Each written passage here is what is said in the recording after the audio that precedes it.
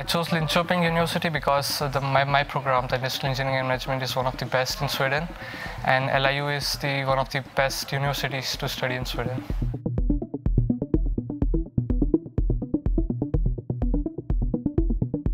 When we study, we study uh, a topic and then we are given the case studies about that.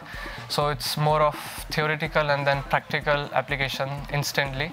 So I think that's a fun part in itself because you are not just memorizing the books and the formulas, but you're applying it in a practical world. I think it's more fun and more uh, makes you understand better the concepts.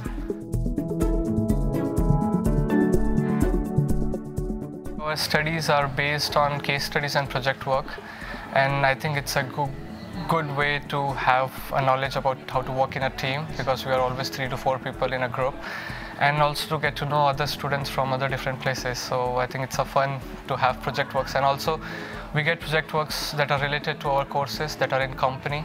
So I think that also improves and enhances your studies.